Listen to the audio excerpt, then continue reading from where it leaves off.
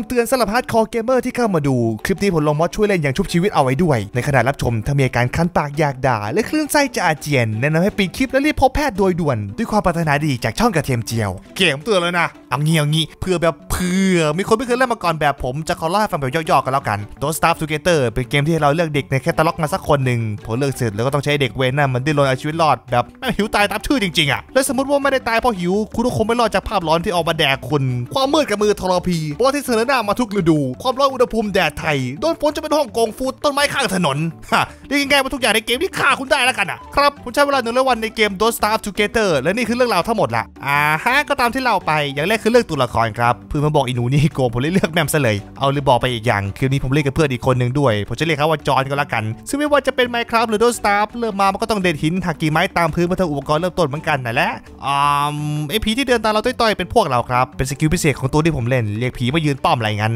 โอ้โหผมเรียกต้นนี้เพราะต้นอร่อยแดกมันยังครบร้อยวันอะเลยเมื่อเก็บของจนสะสมแก่ใจข้างๆจอก็จะมีเมนูให้เราครับของเบื้องต้นเอาจินตนาการว่ามันมีก็แล้วกันนะพอกดเสร็จเด็กมันก็จะซึบๆพองได้ขวานมาจามกระบอนถ้าจะครับของก็เป็นตัดไม้มาสร้างกองไฟของค่ำคืนนี้ตัดกระทั่งเก๋มาบอกเลยไอ้ผมจะพยายามไม่หยิบมาเล่ากันแล้วกันในขณะเดินสำรวจพื้นที่ผมก็เจอแท่นสักอย่างผมเล่นเกมนี้รอบที่ 3 เองโอเคกูไม่รู้จักอะไรทั้งนั้นอะนอกจากไม้แล้วสิ่งที่สำคัญโคตรคือฟางครับ เก็บไว้เท่าไหร่มันก็ไม่เคยพอเกมนี้ผมยึดคติอยู่อย่างหนึ่งจะมือบอลทุบอะไรมั่วส่วนโดยเฉพาะตัวอะไรก็ตามที่ใหญ่กว่าเราจับไม้มาด้ากับฟางจนได้ไปแคมป์ไฟ เอาไว้แม้ความมืดมาแทกเรานะครับต้องเติมไม้บ่อยๆด้วยไม่งั้นแมมดับ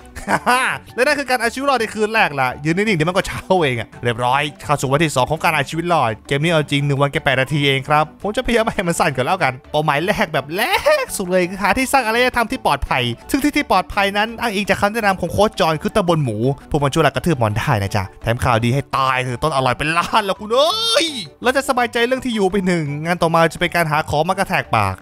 นี่แหละข้อดีของผีแหละนางชื่อไอบิเกลครับ ดีมากก็เธอมันแอบบี้ไอแมงมุมนี่เป็นหนึ่งในสารอาหารหลักตลอดทั้งวันเลยจ้ะลากกันจนสูญพันธุ์นะบอกเลยนอกนั้นก็มีเก็บใยไปทำเบ็ดตกปลา พอกลับมาบ้านหันมามองอีกทีไอจอยก็สร้างเครื่องวิทยาศาสตร์ซะแล้วนี่ยังไงมาโตครับก็ได้ครับถ้าเดินเข้าไปใกล้ๆมันจะยอมให้รับครับของที่ทำด้วยมือเปล่าไม่ได้ผมเลยจัดเบ็ดตกปลามาให้ซะหนึ่งดุนก็เสร็จก็อาจืบๆแล้วก็ได้เข้าตัวเป็นอาเซตพิธีค่ำคืนที่สองไม่มีอะไรมากกว่าชายสองคนกับความเงียบเออเออเงียบครับวันที่สามผมยังคงใช้ระบบแรงงานผีไปพีชีพเก็บใยกับเนื้อสัปะหลาดมากินเป็นเบรกฟาสต์อู้ดูนี่สิเขาเจอบวกอะไรด้วยเดินเดินอยู่ก็มักจะเจอซากกระดูกส่งยิ้มให้ส่วนมากผมก็แค่ค้นๆดูแล้วก็เดินจากไปอะนะจนหลังจากเดินวนๆแถวตำบลหมูสักพัก แล้วก็เจอสิ่งที่เหมือนจะเรียกว่าอุดมสมบูรณ์บ่อกบหนึ่งอันกับต้นอร่อยสามต้นถ่วน ซึ่งเมื่อเห็นดังนั้นเด็กมันจึงเริ่มลงหลักปักฐานอย่างแท้จริงแล้วหลังของเริ่มล้นตัวคราบหีบซะหน่อยกลางคืนหิวๆก็ไปเดินมาเด็ดต้นอร่อยยัดใส่ปากบ้างเป็นครั้งเป็นข่าวตลอดเวลาที่เล่นเกมนี้ผมก็ชอบโดนไอจอนด่าเสมอเลยตัดและปูคืนด้วยสิวะมันว่างั้นอะเวลาที่เหลือจะให้ทำอะไรล่ะตกปลาดิมันมีโปรตีนอะไรได้ง่ายไปกว่านี้อีกแล้ว คือเกมนี้แปลกอย่างหนึ่งพอตกได้ปุ๊บเราต้องกดฆ่าปลาเองด้วย เอ๊ะถ้าเขาถือศีลนะไม่ทำได้ไหมอะสุดท้ายก็ต้องทำครับเพื่อความอยู่รอดวันที่สี่ผมเริ่มจับไฟมาเผาป่าไปครั้งแรก ซึ่งไม่รู้ทำไมที่กูโคตรชอบเลย เดี๋ยวนะมาหยิบกู ไอ้จอยท่านเพลิงมาดิ และนี่คือเศษซากของความทรงจำที่ผมจะจำมันไปตลอดกาลแต่หีบใส่ของก็เหมือนความรักอะนะหรือฟื้นอาจจะยากหน่อย แต่ถ้าตั้งใจก็สร้างขึ้นใหม่ได้ครับ ตกปลาหาข้าวกิน แล้วก็นั่งชิวๆรอให้เวลาผ่านไป ในขณะนั่งโง่ๆเด็กมันก็เพิ่งตระหนักได้ว่าผลต้นอร่อยแบบเน่าไวโคตรเออหมดการสูตรโกงกู และด้วยเหตุนั้นหม้อข้าวจึงได้ถือกำเนิด แต่ตอนนั้นผมโง่เกินกว่าจะใช้ผลต้นอร่อยมาทำอาหารเมนูวันนั้นจึงเป็นแค่ปลากระกางเสียบมาให้กิน จากนั้นไอ้จอนก็เริ่มเล่าเรื่องผีตามภาษาลูกเสือไทย เฮ้ย มึงจะเล่าอะไรดูหน้าผีกูด้วยนะเขาไม่เล่นนะมึง วันที่5มื้อเช้าเป็นเต้าหู้เนื้อปลาจากบ่อข้างๆบ้านอาหารส่วนใหญ่ที่กินก็แค่แก้หิวแค่นั้นนะแต้มที่เหลือช่างแม่งเห็นอย่างนั้นด้วยความฝันที่อยากเป็นเชฟผมจึงค่อยๆเรียนรู้สูตรอาหารทีละเล็กจากความผิดพลาดแล้วก็วงมาตกปลา ชีวิตก็เงี้ยครับ เอ้ยเอ้ยมันแดกไปกูไปแล้ว คือนั้นในที่สุดพอก็ฉลาดพอที่จะทำแบ็คแพคเป็น พอเสร็จปุ๊บมันจะเพิ่มช่องมาให้อีก 8 อ่าฮะโหงกชะมัดวันที่ 6 ปลาที่ตกแทบตาย 2 คนช่วยกันแดกทีหายเกลี้ยงในพริบตาผมเลยต้องกลับมาออกแรงหาเนื้อสัตว์ประหลาดกับยายอีกรอบเฮ้ยยืนมองกูก็เหนื่อยแล้วเนี่ย ช่วงเย็นนอกจากฝนตกพรำๆ ในบ้านก็มีเต็นท์เพิ่มมาอีกหลังหนึ่งเรื่องอะไรยากๆจะให้จอนสร้างก็แล้วกันเจอแล้ววันชีวิตจริงโปเกมอนโกเข้าไปกูไม่พร้อมจะเรียนรู้อะไรใหม่ๆทั้งนั้นอะข้อดีของเต็นท์คือมันจะเอาค่าความเหนื่อยไปเพิ่มแต้มหลอนกับเลือดนะครับวันที่7การทดลองก็เป็นผลมีดบอลสูตรกระเทียมเจียวสูตรลับความอร่อยในวันนั้นผมกับจอยคุยกันว่าจะไปกระทืบมอนหาเกียร์มาทำตู้เย็นกันซึ่งตอนแรกที่เห็นหน้าคือกูว่ากูจบร้อยวันตรงนี้ชัวจนกระทั่งเอฟบีแล้วได้ใช้แววเท่านั้นแหละบ้าโอ้ยหนุ่มนี่เด็ดอยู่นาสองรุ่นมันชนะยู่รักกันแบแมงว่าตอนนั้นผมไม่รู้ด้วยซ้ำว่าเกียร์ที่กำลังตามหามันหน้าตาเป็นยังไงผมเลยเก็บของตามพื้นไปแสนเรียบเลยอู้ไม้ฟรีคุณเคยเดินเก็บผักป่าอยู่ดีๆแล้วผักป่าวิ่งหนีคุณไหมกูก็ไม่เคยเหมือนกันอะวันที่ 8 เช้าวันแสนเศร้า เราสองรู้จักกันได้ไม่นานก็ต้องจากกันซะแล้วไม่ต้องห่วงที่รักเองจะเป็นซุปที่ดีแน่นอนฉันมั่นใจและด้วยฤทธิ์ของการจากลากับแต้มร้อนอีกนิดหน่อย หน้าจอผมก็เหมือนคนโดนเหล้าขาวไปสองเพกโอ้จออันช่วยกูด้วยกูร้อนเหนือช่วยด้วยแม่เพื่อนจินตนาการจะแดงโอ้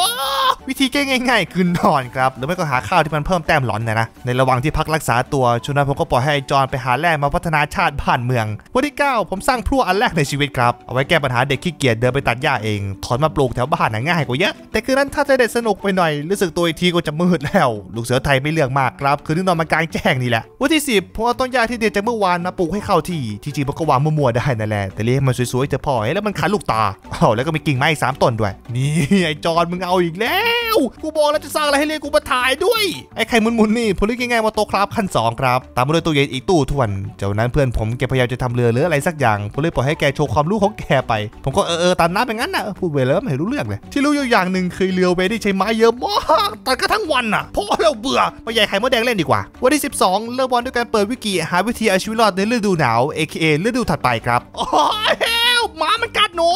และนั่นก็เป็นเหตุผลว่าทำไมเธอต้องเลือกมาสร้างบ้านใกล้ตำบลหมูล่ะรปภฟรีใครจะไม่เอาฟะวันที่ 13 ในขณะไอจอนกำลังมีความสุขกับการผจญภัยในโลกกว้างของเขา อีกฝ่ายของโลกเป็นกระเทียมเจียวนั่งเงยๆรอผัวกับบ้านเห็นยังไงผมเป็นฝ่ายคนครัวครับหน้าที่หลักคือทำมิตบอลดองไว้เยอะๆเก็บไว้แดกในฤดูหนาวมิตบอลเก็บได้นานถึง17 วันในตู้เย็น โอ้นี่มันยอดไปเลย แล้วเวลาก็ข้ามมาจนถึงวันที่ 16 ในที่สุดความพยายามของชายหนุ่มก็ได้สำเร็จผลได้แผ่มาก้อนหนึ่งไอ้ที่ว่าทำนานๆน่าจะเป็นขอประกอบเรือมากกว่า สมอเรือเสากระโดงเรือพร้อมผ้าใบ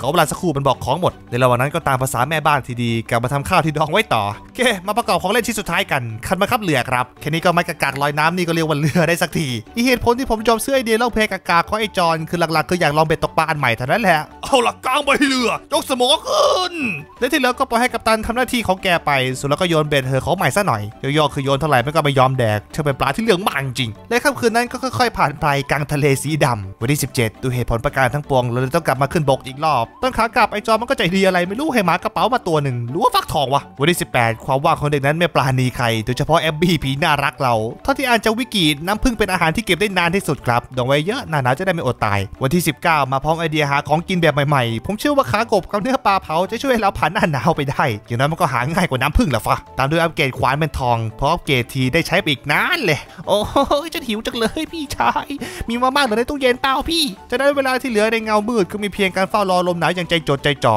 บวกกับคราบหินร้อนอีก2อสามก้อนเอาไว้ช่วยให้แข็งตายช้าลงอีกหน่อย วันที่ 20ก็ยังคงไม่มีวี่แววของความหนาวหรือว่ากูโลกไปเองฟะทุกอย่างยังคงอยู่ในสภาวะปกติ สั่งผีพรายไปตีแมงมุมประจำวันอะไรอย่างนั้น เอ๊ดูนี่สิพี่เจอใครผมเห็นมันน่ารักดีเลยจูงกลับบ้านแม่มซึ่งไอ้หนูนี่ก็มาพร้อมหีบก้อนโตๆโอ้โหสีลุงด้วยนะมึงอ่าอะไรไม่รู้ก็เก็บไปก่อนอะสำหรับใครที่เป็นโรคกลัวแมงมุมเนี่ยนะให้ปิดตาด่วนครับเพราะไม่มาเป็นล้านเลยกูเนาะเยเยอะแค่ไหนก็ไม่ขนามือแอบบี้กูดอกรวมไปเศษเนื้อไปตามๆกัน ในคืนนั้นผมกลับมาบ้านพร้อมผีน้อยที่เพิ่งเก็บตกพื้นในเมื่อตะกี้ก่อนจะโดนเพื่อนถ่าอีกรอบมึงไปเก็บมาทำไมมันทำให้ร้อนเอาไปปล่อยเลยนะมึงแม่มันพูดซะเป็นแมวข้างถนนเลยเว้ยโอ้เสียใจด้วยนะเจ้าตัวเล็กหวังว่าจะเจอคนใหม่ที่ดีกว่านะายในแคมป์ที่เงียบสงบกับวันเวลาเอ้ยไอ้มือไอ้จอนมือ โอ้โหเกือบไฟดับแล้วมั้ยล่ะมึง ในวันที่ 21 ผมรู้สึกนึกถึงความหนาวที่มาก่อกินหัวใจ โดยเฉพาะเมื่อตกปลาอยู่แล้วหน้าชาเนี่ยโอ้ยโอ้ฉันหนาวจังเลย และนั่นคือข้อดีของหินร้อนแหละครับ เราจะได้ไม่ต้องเดินไปกับกองไฟบ่อยๆ เอาปลาที่ตกได้มาคนๆกับน้ำแข็งให้เข้ากัน เป็นอันได้แดก วันที่ 22ไอ้หมาเนี่ยมันมาอีกแล้วช่วงเย็นๆก็ไปตัดไม้ที่เผาไปก่อนหน้า เอาถ่านไปทำหม้อซุกี้เพิ่มทำไงได้ผมมีกองทัพต้องเลี้ยงอะกิ่งไม้กับน้ำแข็งบุกเกษตรเนื้อกากอีกชิ้นหนึ่งเท่ากับเคบับเอประหยัดทรัพยากรไปได้เยอะหม้ออีกหม้อหนึ่งจึงคลอดตามมาติดๆเช้าของวันที่ 23 ในขณะทำข้าวเช้าให้ลูกกิน หิมะแรกเห็นหนึ่งร้อยวันก็โปรยลงมา บ้าโอ้โหโคตร erotic ผมก็ตื่นเต้นกับหิมะตามภาษาคนไทยทั่วไปนั่นแหละถ้าไม่ไป Dream World ไม่เจอแล้วครับอะไรเย็นๆเนี่ยอุ้ยเชี่ยโอ้หิมะมึงมาอย่างนี้เลยนะ ซึ่งหน้าหนาวนี้ถ้าจะไม่ erotic อย่างที่คิด โอ้ยสารเลยเว้ยมันเดินได้ด้วย แอบบี้มึงไป clear ดิแอบบี้เรายืนทนตีนได้ประมาณ3ปัดเศษก่อนจะล่วงตัวแตกกับลุงของมันไป เอ้ารออะไรเล่าวิ่งดิอืมดูเหมือนมันจะหันไปสนใจเพื่อนผมแล้วฮะเคกันช่างแม่งไปตัดไม้ต่อเอาจริงหน้าหนาวไปไหนไม่ค่อยได้ไกลหรอกครับเดินแป๊บๆหินร้อนมันก็เย็นไวเลือเกินไอผมเลยเลือกที่จะนอนชิวๆในเต็นท์เพื่อคลายหนาวจนกระทั่งมีแขกมาเยือนอ่าจอนอะกูไม่รู้ไปเห็นแล้วกูแกล้งตายแป๊บเท่าที่ดูไอ้ต้นคริสต์มาสนี่ประมาณครึ่งวันมันน่าจะไม่เดินจากไปเองดีๆแน่เราสองจะรวมพลังกระทืบแขกคนสำคัญครับผมเป็นฝ่ายล่อตีนจากสวยจอยเปนคนยิงนั่นแน่ขนาดต้นไม้ยังล้มได้ บอสถือจะสักเท่าไหร่กันเชียว ตามด้วยทำอีเตอร์ทองเพิ่มอีกอัน ซึ่งก็ไม่รู้เป็นโรคอะไรขนาดอยู่ในบ้านเฉยๆมันยังเผือกเดินมาหายแต่ผมเลือกที่จะช่างแม่มครับ แล้วก็กลับมาใช้ชีวิตสโลว์ไลฟ์ต่อโอ้ยยินนี้ได้เด็กไข่ดาวเพนกวินแล้วกู เห็นดังนั้นเด็กมันที่อยากรู้อยากเห็นจึงส่งเอฟบี้ไปทดลองน้ำหนักตีนว่าฟูงหนึ่งผีเราจะไหวไหมสรุปคือไม่รอดเรียกว่าเกือบก็แล้วกันมันรอดไม่ได้สองตัว พอจบเรื่องก็กลับมาแท้น้ำแข็งต่อเก็บไว้ทำข้าวสืบไปให้ตายเธอกลางวันสั้นชิบหายหน้าหนาวทีกลางวันไม่เหลือเจ๊งหนึ่งแต่จังหวะขาเดินกลับอยู่ๆหน้าผมก็ซีดเหมือนตอนโดนเธอทิ้งเราเลยตัดใจตั้งแคมป์แถวสลัมเพนกวินแถวๆนั้นแอบบี้กูนี่ก็ไม่พักเลยเบาๆได้แล้วเราทะเลาะวิวาทอะโอ้ยใครก็ได้เอาอีโต้มาสับไอ้มือเวนทีนี่น่ารำคาญจริง วันที่ 27 ก็แค่วันชิวๆอีกวันกับฝูงแมงมุมทั้งฝูงอ่าคุ้นๆนะฮะอ๋อเปิดไปแล้วนี่หว่าชิไอเรื่องทำท่าจะแข็งตายก่อนถึงบ้านนี่เป็นเรื่องปกติไปเลยครับสำหรับเรื่องดูหนาวเนี่ยกลับมาก็ต้องนั่งเงาๆก่อกองไฟใช้เองคนเดียว เศร้าแล้วจอยไปไหนวะ วันที่ 28 เด็ดกิ่งไม้กับน้ำแข็งประจำวันหลักที่ว่าสำคัญน่าจะเป็นออกเดินทางตามหาฟางมาดองไว้มากกว่า คิดได้ดังนั้นวันที่ 29 ผมกับจอนจะร่วมมือกันเอาเรือมาข้ามแม่น้ำเพื่อใช้เป็นสะพานใครก็จะบ้าเดินอ้อมกันละฟอ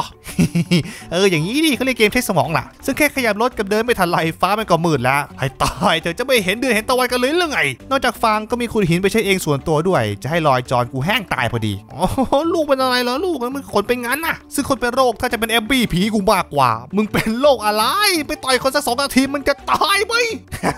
สมองไม่ได้มีไว้ขั้นหูนะครับ เอ้ยแพ้ได้สารพัดประโยชน์จริงๆ พอถึงบ้านก็หยิบขี้วัวสดๆจากสวนมาใส่ปุ๋ยต้นฟางเป็นอันจบวัน ต้นข้ามมาคืนเขาว่าที่ 30 ที่ผมทำงานเหนื่อยไปแล้วจอมันสั่นเองฟอจนกระทั่งแม่งโผล่บอลทั้งนั้นเลยอุ้ยจีเว้ย ตอนแรกผมก็ว่าจะใช้ฟอร์เมชั่นเดียวกับตอนต้นไม้ จะโดนเข้าไปจุ้งหนึงเท่านั้นแหละ โอ้ยโอ้พี่จะมายุ่งไอ้จอมมึงรับผิดชอบเลย แค่สู้กับกวางนรกไปพอ ต้องมานั่งหัวเรื่องไฟดับอีก โอ้ยแอวซึ่งต้องยอมรับว่าไอ้กวางนี่เรียกร้องความสนใจใช้ได้ พอมายุ่งกับมันมันก็ทุบบ้านกูอีก โอ้หมดกันอะไรจะทำที่กูสร้าง และโดยเหตุนั้นเด็กแก๊งจึงไม่มีทางเลือกซ่อมเท่าที่ซ่อมได้ก่อนจะใช้ท่าไม่ตายสุดท้ายลากไปหาหมูแม่มบางครั้งปัญหาที่เราเคลียร์เองไม่ได้ก็ไม่ต้องเคลียร์มันหรอกครับให้คนอื่นเขาต่อยแทนให้ดีกว่าแงอวสานกวางนรกเอ้ยมันช่างไม่ง่ายเล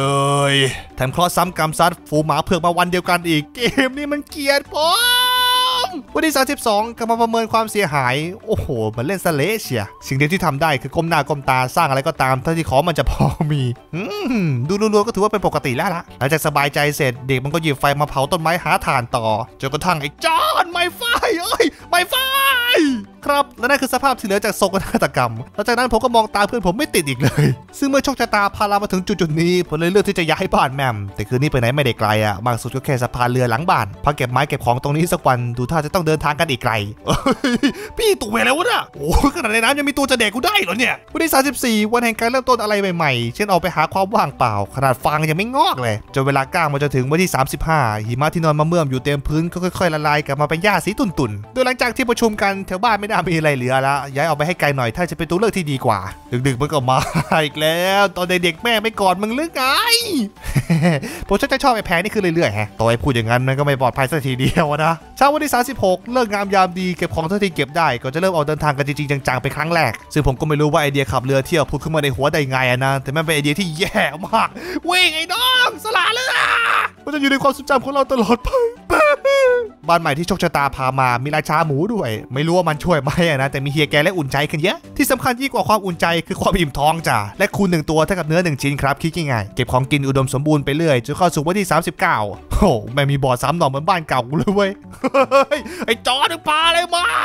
ซึ่งนั่นก็ได้เวลารปภประจำคอนโดใหม่ได้ฉายแวว เอาที่หน้ามันหนักๆเลยพี่ ในวันเดียวกันนั้นเพื่อนผมแกเสนอไอเดียทำสวนขึ้นมา ปกติผมก็ชอบนะ แต่ไงเกมนี้ตังหิดใจแปลกๆ วันที่ 40 เรียนรู้วิธีใช้ล่มไม่งั้นแต้มหยดดน้ำแม่มขึ้น เดี๋ยวนะแกนี่มีเปียกตายด้วยเหรอที่11ยังคงมีแค่เรื่องทำอาหารกินไปวันหนึ่งวันหนึ่งตกปลาหน้าหลุมเดิมๆผักเกมนี้ปลูกเสร็จต้องคุยกับมันทุกวันด้วยไม่งั้นเดี๋ยวมันโตมาขาดความอบอุ่น เอ้าทำไมทีจอมันตกได้อะแล้วที่เขาอะเฮ้ยคอยดูเถอะกูจะไปทำยาพิษให้มึงแดกวันที่42กระโดดข้ามสะพานมาเด็ดฟางอีกรอบอย่างน้อยฤดูใหม่ฟางมันก็โตคืนเลยนะจากนั้นก็หยิบฟางที่เด็ดมาทำเป็นเต็นท์ประดับบ้านใหม่วันที่ 43 อยู่ๆไอ้นกนี่ก็วิ่งเข้าชาร์จเราเฉยผมเลยสั่งมือปืนประจำตัวยิงทิ้งซะอู้ว่าไงเจ้าไข่น้อยมึงมีแม่เหรอมามากับบ้านมาอยู่บนกระทะพ่อแล้วแต่ชัยชนะไม่ได้อยู่ข้างเราเสมอไปครับฝากไว้ก่อนเถอะแกวันหลังข้าจะมาทวงคืน ขยายฟาร์มให้ใหญ่ขึ้น เอาเมล็ดที่นกขี่ไว้มาหยอดใส่หลุมเฮ้ยเดี๋ยวเดี๋ยวทำไมกูร้อนฟ้าอีหาที่รักแก้ผ้าเขาหน่อย สรุปคือเป็นเพราะลมฮะกลางลมแล้วร้อนนะนะฮะฮะวันที่ 44 ผมลองตกปลาทะเลดูบ้างไอจอยังทำได้ทำไมคนลอยๆอย่างเราจะทำไม่ได้ฟ้า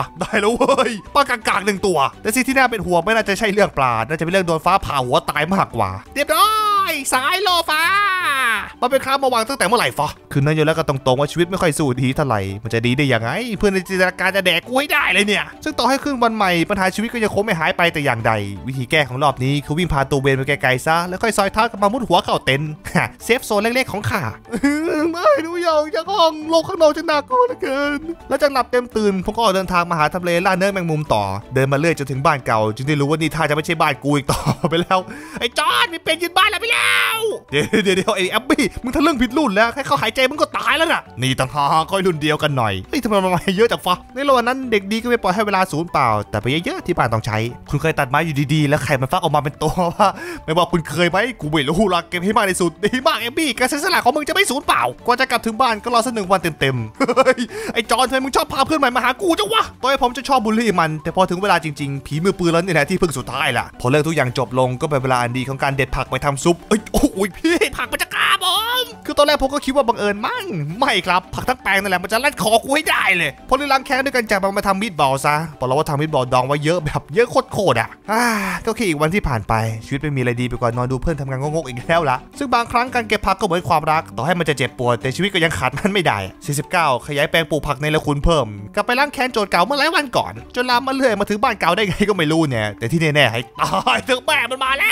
ว ตอนแรกผมก็ว่าจะหวังพึ่งผีเราานะ โอ้โหต้นดอกเดียวลูกได้เลิกหวังไปได้เลย การต่อสู้ยังคงยืดเยื้อและยาวนานจนเข้าสู่วันที่ 51ไม่รู้แกมาได้ไงนะ แต่แกช่วยแทงให้ก็ขอบคุณเฮ้อดอกสุดท้ายกับผมยิงเข้าไปแล้วครับอื้อหือล้มสะพื้นสนานเชียว แล้วเราก็ได้รู้ครับ สิ่งที่น่ากกับแม่เป็ดก็ลูกมันนี่แหละไอ้จอนลอก ด้วยโอ้ยบังคำนี่วิ่งไม่รอเพื่อนเลยด่าไหนด่าด่าข้ามาไม่ได้ดิอุ้ยเชี่ยช่วยด้วยพี่สวรรค์ลงโทษกู สุดท้ายจบด้วยคำว่าช่างแหม่มผมก็ไม่รู้จะเอาขนเป็ดไปทำอะไรเหมือนกันอะคืนนั้นคือพระจันทร์เต็มดวงครับสว่างจนผีไม่มาหลอกเออก็ดีไว้ยวันที่ 52 วันหาฝนกบเชี่ยมาเป็นล้านอะตอนแรกผมก็คิดว่ารปภชุดใหม่ที่จ้างมาน่าจะพอกำลับเด็กทะลึ่งได้อ้า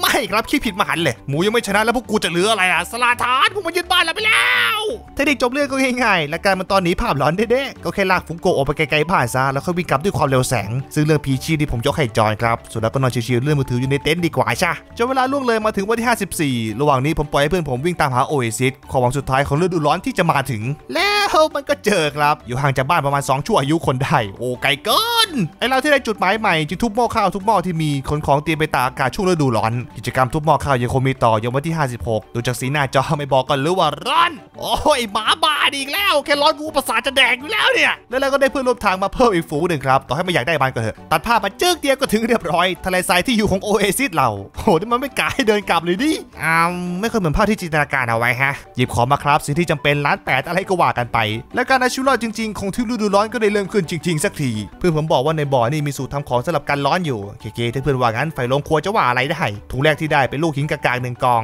อะโยนเบ็ดต่ออู้สูตรสักอย่างแต่ไม่ใช่ของที่ต้องการจนกระทั่งวันที่ 58 ความร้อนก็เกินกว่าจิตใจไอแข็งกล้าของข้าจะทนไหวขนาดต้นไม้มันยังไฟลุกอะผู้กล้าทั้งสองเลือออกตามหาของมาทำไฟเย็นที่จริงมันหาง่ายแหละถ้ามาเชื่อผมโยนทิ้งไปสมดก่อนหน้านี้นะขามาเดินไกลขนาดไหนขากลับก็เดินไกลขนาดนั้นแหละระหว่างทางแมงมุมตัวในศพตากูต่อยหมดอะวันที่ 59 จับกางยังคงก้มหน้าก้มตาตัดไม้ก็งกกลางแดดที่พร้อมจะฆ่าคนได้ตลอดเวลา ซึ่งขนาดตัดไม้ผมก็ได้รู้ อยู่ใต้ต้นไม้ไม่หายร้อนด้วยว่ะเช็ดเทคนิคนั้นใช้ได้ทั้งกลางวันและกลางคืนครับ พิงไฟอยู่ใต้ต้นไม้คือเอจริงมันก็ช่วยนะ ติดตรงที่ว่าต้องแวะทุก 2 วิเท่านั้นน่ะ พยายามเข้า FB กูจะให้กำลังใจมันอยู่ใต้ต้นไม้เอง วันที่ 61การเดินทางพาผมโคจรมาเจอเสาหินสักอย่างก็ให้ ไอจอนบอกเสานี่สามารถคุณไปทำกระสุนโคตรแรงได้ เอ้าก็ไม่บอกกัน นอกจากเสาหินโรมันหินธรรมดาก็ต้องเก็บกลับบ้านครับ ออกจากบ้านทีเดียวจะได้ไม่ต้องออกอีก ใช่ นั่นแหละไฟเย็นที่ข้าพูดถึงละและถ้าพูดถึงอุณหภูมิมันคงขาดหินร้อนไม่ได้อ่าไปเชื่อเป็นหินเย็นก็แล้วกัน วิธีใช้ก็เหมือนเดิมเป๊ะเย็นไวๆนะลูกเอาลูกไม้จากโลกภายนอกมาปลูกเอาแล้วก็ไข่แมงมุมด้วย ผมได้มาเม็ดหนึงแต่ลืมเล่าทีนี้ก็หมดปัญหาขาดอาหารสักทีอ่าฮะมันจะวางใกล้บ้านไปหน่อยนะจังมันเก็บเนื้อสัตว์ประหลาดไปทำกะเพราไก่ในอนาคตฉันสัญญากับเขาคนนั้นเอาไว้ว่าฉันจะปกป้องไฟศักดิ์สิทธิ์กองนี้ไว้เองเองเองเองคุณในใจครับนะแต่มันไม่อยู่อะใครจะมาเห็นเลยนะไปนอนในเต็นท์ดีกว่า สิ่งเดียวที่ผมต้องสู้รบด้วยคือไอ้มือเวนนี่แหละก็สับแขนให้ขาดสักทีเถอะวันที่ 63 ตกปลาหาสูตรอีกตามเคยส่วนปลาสดดเป็นของแถมครับ ในคืนนั้นให้ตายเถอะพี่เพื่อนจะลมโลกจะแตกแล้ว เพื่อนผมบอกมันคือบอสมดอ๋อ เคแล้วดือนนี้ของงดเปรี้ยวสักซีซั่นก็แล้วกันวันที่ 64 แล้วจะอดทนมาแสนนานหมอแรกก็ได้ถือกำเนิดอดอยากมาแสนนานขอมีบอลอ้วนๆสักมือเถอะคืนนี้ถึงตามมันเฝ้ากองไฟศักดิ์สิทธิ์บ้างกูนอนละเฮ้ยจอนมือมือมือวันที่ 65 รู้สึกตัวอีกทีก็มีสวนต้นหิงงอมาทั้งแปลงมันไปเอาต้นอ่อนมาจากไหนฟะอยู่ที่นี่มีอะไรให้ทำมาเยอะนักหรอกครับแต่ได้อีกตลอดหลายวันก็มีแค่ตกปลากินเพื่อฟุกได้สูตรพอตกเดึกก็เหยียบมือวนๆไปอะตกปลาอะเหยียบมือ แล้ววันที่ 68 ชีวิตก็ตกต่ำถึงขั้นเหลือแค่เนื้อสัปะหลาดกินไม่มีพุงไม่พักเลยเหรอแต่การที่ลนมีชีวิตคือข้อดีที่สุดของมนุษย์ครับ เด็กมาเลยพัฒนาเทคนิคหากินด้วยการทำกระดักจับนกไว้ช่วยเพิ่มโปรตีนในแต่ละวัน เฝ้ารอเอางับเขาให้ได้ไก่มาแดกเด้งตัว พอได้โป๊กก็ต้องจับมาตีหัวให้ตายบาปกรรมจริง ๆ เกมนี้เรียกว่ามากันแบบไม่หยุดไม่หย่อนเออไม่อดตายแล้วเว้ยจนช่วงเย็นนั่นเองเอฟบี้ก็ทำในสิ่งที่ให้อภัยไม่ได้อาโอ้ยพ่อมึงไข่แตกแล้วจะเอาเนื้อที่ไหนกินฟะชีวิตดีๆจึงเปลี่ยนจากหน้ามือเป็นหลังตีนหรือว่าเปลี่ยนมาเป็นหาเช้ากินค่ำเลยก็ว่าได้ เมื่อคืนเกิดเหตุลมยุบอีกครั้งแล้วทำไมถึงมีแต่กูที่โดนฟะเห็นอย่างนั้นนะวันอากาศประเทศนี้ก็ยิ่งร้อนขึ้นเรื่อยๆ ซึ่งน่าไม่ใช่ข่าวร้ายครับ เพราะพอจบวันที่ 70 ปุ๊บ อะไรอะไรก็กลับมาสดใสอีกครั้ง เย้จอกูเลิกสมแล้วเว้ยทะเลทรายไม่มีพายุแล้วเย็ดเปียก เราสองจึงตัดสินใจเก็บของกลับคืนสู่ถิ่นอีกครั้ง คือบ่อมันก็แห้งแล้วไม่รู้จะอยู่ไปทำไมเหมือนกันน่ะเก็บผักที่ปลูกไว้แต่ไม่บอกเธอกลับไปด้วย ตามด้วยต้นหินมาเบิลเตรียมตัวยังไม่ทันอะไรกับหมดวันแล้วอะพักอีกหนึ่งคืนส่งท้ายก็ได้เดี๋ยวนะคืนนี้คือพระจันทร์เต็มดวงนี่ชี่ยชีวิตผมไม่เคยสว่างขนาดนี้มาก่อนอ้าวถ้าผีไม่หลอกกูก็ไปเลยเด้ออ้ามเพื่อนึกภาพไม่ออกระยะทางที่ต้องเดินกลับคือข้ามทวีปดีๆนี่เอง คือฤดูใหม่สัตว์แปลกๆก็ออกมาด้วยฮะไอยบสะพานแพที่คุ้นเคย ใช่จ้ะผมกลับมาฐานตำบลหมูอันเดิมนั่นแหละบางครั้งผมก็เริ่มคิดว่าเราจะย้ายไปทะเลทรายไปทำไมกันนะสร้างโต๊ะครับเบอร์หนึ่งตู้เย็นจำเป็นต้องใช้ซึ่งด้วยเรื่องในอดีตที่เกิดขึ้นผมจะโดนทางจังหวัดแบนห้ามใช้ไฟ งานเผาป่าจะตกเป็นหน้าที่จอห์นนี่เพื่อเราแทนทางที่เผาก็เพื่อทำหม้อนี่ยังไงล่ะจ๊ะ73 ออกมาเดินเก็บของป่าไปทำมาม่ากิน จากนั้นผมก็เพิ่งรู้ว่าแค่มีเนื้อแค่ชิ้นเดียวก็ทำมีดเบาได้ โอ้แล้วตลอดมากูใส่เป็นตันเพื่อแอบบี้มึงเลิกทะเลาะกับเพื่อนบ้านสักทีเถอะกูรำคาญแล้ว ว่าไงจ้าบอกกบคิดถึงเขาไหม วันที่ 74 ตัดไม้อย่างจริงจัง เอาไว้ทำแพไปสำรวจเกาะพระจันทร์ผมก็พูดตามเพื่อนไปอย่างนั้นแหละครับ ไม่เคยไปกาะนั่นจริงๆเหมือนกันอะ75การกลับมาคุ้มหมานรก สู้เขาครับเฮียผมจะคอยเชียร์อยู่ห่างๆเองไม่เต้นจอนขนมช่างน่ากลัวเหลือเกิน กูจะไม่ออกจากเต้นนี้ตลอดไป ช่วงท้ายของวันเป็นงานกู้ซากจากเรืออันเก่า วันถัดมาชีวิตสงบสุขครับเด็ดของป่ากิน โดยเฉพาะผีเสื้อเนี่ยโหแรงโปรตีนหลักเลยเฮ้ยจุดเขาให้มั่วแต่จริงก็มาแจงจับกูดิ ไม่ต้องห่วง พี่คำนวณมาแล้วไม่ล้ำแน่นอนแบบมั้งช่วงนี้ผมค่อนข้างจริงจังกับการดองอาหารให้มากที่สุดเพราะเดี๋ยวจากนี้จะต้องเดินทางกันอีกไกล โอ้แม่สาวน้อยดูนั่นสินั่นกวางนี่แอบบี้ถ้ายังไม่เลิกพ่อจะกางบริเวณแล้วนะจนเข้าสู่วันที่ 81 พื้นก็สั่นอีกครั้งรอบนี้เป็นเมย์เว้ยรู้ว่าเลขขูนยักษ์ฟะ แต่รอบนี้มาง่ายเชียว แค่จอก็กินขาดแล้วไม่ต้องถือมือป้าหรอกจากวันนั้นเพื่อความมั่นใจผมเลยเดินกลับมาเอากระสุนยิงเพิ่ม ซึ่งเหมือนผมจะขี้กลัวไปหน่อย พอกลับมาถึงที่เกิดเหตุเอมีนั่นก็กลายเป็นชิ้นเนื้อไปซะแล้ว ที่จริงคือออกมาตามหาเหล็กในพึ่งครับ โดยมีด้วยคนสนใจไปหนึ่งวันเต็ม เหล็กในที่ตามหาเอาไว้ทำที่อุดเรือตอนล่วนะจ๊ะเอ๊ เจอตัวไม่พักเลยเวลาหลังๆเนี่ย แต่คำว่าฆาตกรไม่ได้มาเพราะโชคช่วย ใครมีเรื่องกับพี่กูเอามีดเสียบหมดอะฮ่าในที่สุดก็ได้เลิกหาเหล็กในจริงๆสักทีเรียกว่าตีกันอยู่พอสมควรน่ะ ไอ้ต้นไม้เวนี่มึงเล่นผิดรุ่นซะแล้วคืนนี้มึงอยากไปคบเพลิงนักใช่ไหม อัปเดตบ้านไวๆคือเราเพิ่มสวนต้นฟางกับสวนต้นหินมาอย่างหลับแรงเบิ่มๆคืนวันที่ 83 หยิบอาหารที่สุดท้ายเข้ากระเป๋า อ้าวพอแล้วก็เลสโกจุดหมายยังไม่ไกลบ้านเท่าไหร่แป๊บๆน่าจะถึง3นาทีต่อมาให้ตายเธอเปิดมาก็ได้แผลแรกเลยผมเลยสลับหน้าที่ให้จอห์นเป็นคนขับแทน และจากนั้นเราก็ไม่ชนอะไรอีกเลยครับถึงแล้วกอเซี่ยวจันผมชอบจริงๆการผจญภัยใหม่ๆเนี่ยทุกอย่างในเกาะแม่ดูแปลกตาไปซะหมดต้นไม้ใหม่ๆหินใหม่ๆเช้าถัดมาคนที่เรามาหาก็ยอมเสนอหน้าออกมาในที่สุดเพื่อผมบอกเราต้องทำเควสกับป้าปูนี่เพื่ออะไรสักอย่างตอนแรกเชื่อไม่ค่อยได้ฟังอะเอาเป็นว่าไม่มีของทำเควสป้าแกสักอย่างอากระโดดยบไปผจญภัยกันต่อไอเดียแรกที่สองคนคุยกันคือออกตามหาเก่าใหญ่อีกเก่อนหนึ่งคิดเลยว่าจะได้จบแบบเฟียวๆจนกระทั่งหันมามองอีกทีข้าวที่ดองไว้หมดเกลี้ยงแล้วเลยต้องคอตกกลับบ้านปัจจุบันคือทุกคนเป็นงานมากต่างคนต่างรีบเก็บของที่ list ไว้จะได้รีบไปนั่งเรือกันต่อไอ้ต้นเวนี่อีกแล้วเอาซับเข้าไป ไฟลงครัวก็ใช่ว่าจะสบายนะคุณ มี meatball เป็นล้านให้ทำอะ ชีวิตช่วงนั้นเรียกว่ากลับสู่โหมดปกติก็ว่าได้ ไม่ค่อยมีตัวอะไรทำท่าจะฆ่าเราสักเท่าไหร่ อย่างน้อยก็น้อยก็เมื่อก่อนอะ คุณแรกโชว์ครั้งแรกของคลิป วันที่ 88 วันที่รอคอย ออกเรือ เป้าหมายยังคงเหมือนเดิมครับ ออกตามหาเกาะสักอย่างที่วาดฝันไว้ขับก็จนสุดขอบโลกก็ยังคงไม่มีวี่แวว กัปตันจึงเปลี่ยนแผนมาวิ่งเรือตรงขอบขอบโลกบ้างเพื่อจะเจออะไรดีๆ วันที่ 90 มีแวะจอดเก็บผีเสื้อตุนเสบียงนิดหน่อย เก็บฟูงสาหร่ายวากาเมะกลางทะเลจน 91คำตอบของคำถามที่รอคอยก็มาถึงไอ้กากบาทที่ขับมาตั้งไกลคือบอนนี่อะนะ ที่อ่านจากวิกิคือต้องทำเควสป้ายให้เสร็จเพื่อปลดล็อกเครื่องดึงใช้กับบอนนี่ครับแชกกล่อยเลย เราจะเดินหน้าออกตามหาวันพีชกันต่อ นี่ก็ครึ่งรอบโลกแล้วนะ95ด้านหนาวกลับมาอีกครั้งกับทะเลทรายโอเอซิสยังคงกลับมาแวะเติมเสบียงอีกตามเคยโอ้โดยเฉพาะเนื้อกับไข่เพนกวินนี่ตัวดีเลยกับตันอินอินมันโอ้โหโดนเต็มเต็มพอวังนั้นเริ่มริบหลีลงเรื่อยๆจนเราเริ่มถามตัวเองเหมือนกัน เอ๊ะรู้มันอยู่ในซอกทวีปกันฟะฉลามโอ้โหแอบบีบ ตีมันให้ตายแย่ น มันลุกนี่เสบียงฟรีมาเสิร์ฟถึงที่ ซึ่งการพบเจอไม่จบแค่ฉลามครับอุ้ยโอ้ตัวเวรอะไรฟะน่ะโอ้โหไม่น่าทักเลยว่ามันโดนมาบานเลยอุ้ยชิบหายจอเรือลวงเวรนี่มันโปกทะเลชัดๆ อะไรดีๆที่ไม่ทำท่าจะกินเราก็มีครับ เช่นไบโอมนี่เป็นต้น ถึงสักทีแหมย้อยก่อนในกำยาน แล้วถ้าคุณถามว่าผมขับมาไกลแค่ไหนอ่าหรือว่าวนรอบโลกสองรอบถ้าจะไม่ผิดเท่าไหร่บนเก่อนนี่มีแร่ดีว่าเอาละมึงได้เวลาย้ายบ้านอีกรอบนั่นเพนกวินหรอฟะน่ะโอ้ทำไมน่าเกลียดจังฟะค่ำคืนนั้นเป็นค่ำคืนที่ตื่นเต้นที่สุดตลอดร้อยวันเลยครับอยากให้ช้างมาไวๆจะได้ออกไปแล่ต่อ วันที่ 99 เริ่มบอลด้วยการตัดต้นไม้ใหม่ๆตามด้วยเด็ดแครอทจากนั้นก็วิ่งตามไปฆ่ามัน สร้างโต๊ะคราฟลงหลักปักฐานๆจะมอดไหมเฟรมไคเซอร์ฮ่าไม่ได้สุขใจไปกว่าเห็นไฟไหม้อีกแล้วล่ะอ้ายผู้บุกลุกวันพาวันเจ้าเด็กไปเว้นกันเลยฮะสิ่งที่ขาดไม่ได้หม้อสุกี้พวกมึงเปรี้ยวผิดคนซะแล้วโดนกูเผาบ้านวอดแน่มึง